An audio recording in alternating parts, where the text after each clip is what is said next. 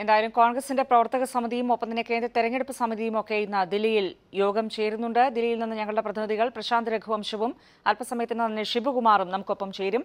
ആദ്യം പ്രശാന്തിലേക്ക് വന്നാൽ പ്രശാന്ത് കഴിഞ്ഞ മൂന്ന് നാല് ദിവസമായി തുടരുന്ന അനിശ്ചിതത്വമാണ്. രാഹുൽ ഗാന്ധി വയനാട്ടിൽ മത്സരിക്കാൻ എത്തുമോ ഇല്ലയോ എന്നത് സംബന്ധിച്ച് ഇന്ന് തന്നെ ഇവിടുത്തെ നേതാക്കളൊക്കെ പ്രതീക്ഷിക്കുന്നത് പോലെ ഒരു അന്തിമ തീരുമാനത്തിന് സാധ്യതയുണ്ടോ?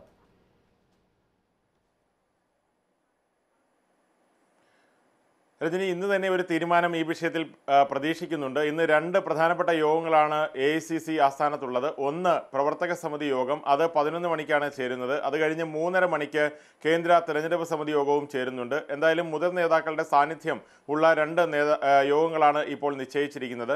പ്രവർത്തക സമിതി യോഗത്തിൽ ഒരുപക്ഷെ ഈ വിഷയത്തിലുള്ള ചർച്ച ഉയർന്നു വന്നേക്കാം.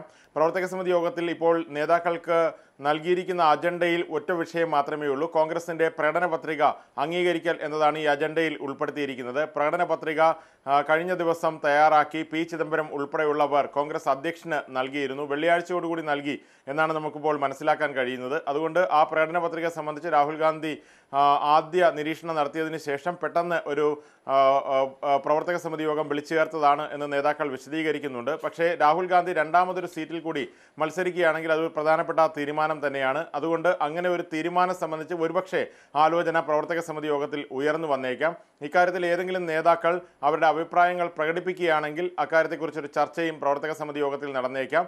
അതല്ല രാഹുൽ ഗാന്ധി തെരഞ്ഞെടുപ്പ് സമിതി യോഗത്തിൽ ഇത് ചർച്ച ചെയ്താൽ മതി എന്നാണ് തീരുമാനിക്കുന്നതെങ്കിൽ മൂന്നര മണിക്കാണ് പിന്നീട് പ്രവർത്തക തെരഞ്ഞെടുപ്പ് സമിതി യോഗം വെച്ചിരിക്കുന്നത്. അതുകൊണ്ട് പ്രവർത്തക സമിതി യോഗം ഒരു പന്ത്രണ്ടരയോടുകൂടി അവസാനിക്കാനാണ് സാധ്യത. പ്രവർത്തക സമിതി യോഗം കഴിഞ്ഞ് മൂന്നര മണിക്ക് ചേരുന്ന തെരഞ്ഞെടുപ്പ് സമിതി യോഗത്തിലേക്ക് തീരുമാനം വിടുകയാണെങ്കിൽ വൈകുന്നേരം വരെ ഈ തീരുമാനത്തിന് കാത്തിരിക്കേണ്ടി വരും. എന്തായാലും കേരളത്തിൽ നിന്നുള്ള നേതാക്കൾ പ്രവർത്തക സമിതി യോഗത്തിലുണ്ട്. കെ സി വേണുഗോപാലുണ്ട് പി സി ചാക്കോയുണ്ട് ഒപ്പം എ കെ ആന്റണിയുമുണ്ട്. അതുകൊണ്ട് തന്നെ ഈ നേതാക്കൾ ഒരുപക്ഷെ രാഹുലിന് മുമ്പാകെ ഈ ആവശ്യം വെക്കാനുള്ള സാധ്യത നമുക്ക് തള്ളിക്കളയാൻ കഴിയുകയില്ല. ഉമ്മൻചാണ്ടി ഈ പ്രവർത്തക സമിതി യോഗത്തിൽ പങ്കെടുക്കാൻ എത്തിയിട്ടില്ല. എന്തായാലും രാഹുൽ ഗാന്ധിയുടെ ഒരു നിലപാട് ഇന്ന് തന്നെ പ്രഖ്യാപിക്കാനാണ് സാധ്യത. കാരണം ഇരുപത്തിയെട്ടാം തീയതി കേരളത്തിലെ തെരഞ്ഞെടുപ്പിനുള്ള വിജ്ഞാപനം പുറപ്പെടുവിക്കാൻ ഇരിക്കുകയാണ്. ഇതുവരെ രാഹുൽ ഗാന്ധിയുടെ ഭാഗത്തു നിന്ന് എന്തെങ്കിലും തരത്തിലുള്ള ഒരു എതിർപ്പ് ഈ തീരുമാനത്തിന് വന്നിട്ടില്ല. മാത്രമല്ല ഇന്നലെ തന്നെ വിവിധ സ്ഥാനാർത്ഥികളെ സംബന്ധിച്ചുള്ള പ്രഖ്യാപനം വന്നപ്പോൾ കേരളത്തിലെ വയനാട് വടകര എന്നിവ സംബന്ധിച്ചുള്ള പ്രഖ്യാപനം ഇപ്പോൾ വേണ്ട എന്നുള്ളൊരു നിർദ്ദേശമാണ് കോൺഗ്രസിന്റെ മുതിർന്ന നേതൃത്വം നൽകിയത്. അത് പിന്നീട് തീരുമാനിക്കാം എന്ന് പറഞ്ഞതിന് ശേഷമാണ് തമിഴ്നാട്ടിലെയും കർണാടകത്തിലെയും മറ്റും സ്ഥാനാർത്ഥികളെ സംബന്ധിച്ചുള്ള അന്തിമ തീരുമാനം ഇന്നലെ കൈക്കൊണ്ടത്. അതുകൊണ്ട് തന്നെ രാഹുൽ ഗാന്ധിയുടെ ഭാഗത്തു നിന്ന് ഇതൊരു അനുകൂല സൂചനയാണ് എന്ന് കേരളത്തിലെ നേതാക്കളെല്ലാം തന്നെ കരുതുന്നുണ്ട്. എന്തായാലും ഇന്നലെ നടന്ന കൂടിയാലോചനകളിലും ഒന്നും രാഹുൽ ഗാന്ധി ഇതിനെ എതിർത്തുകൊണ്ട് എന്തെങ്കിലും ഒരു നിലപാട് പറഞ്ഞില്ല എന്നാണ് നേതാക്കൾ വ്യക്തമാക്കുന്നത്. രണ്ട് അഭിപ്രായം ഇപ്പോൾ എന്തായാലും കോൺഗ്രസ് ഹൈക്കമാൻഡ് മുമ്പാകെ എത്തിയിട്ടുണ്ട്.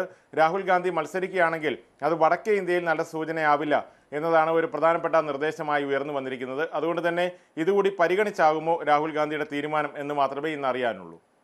പ്രശാന്ത് രഘുവംശമാണ് വിവരങ്ങൾ നൽകിയത്. പ്രശാന്ത് സൂചിപ്പിച്ചതുപോലെ തന്നെ കോൺഗ്രസിന്റെ പ്രവർത്തക സമിതി യോഗം അല്പസമയത്തിനകം തന്നെ ചേരും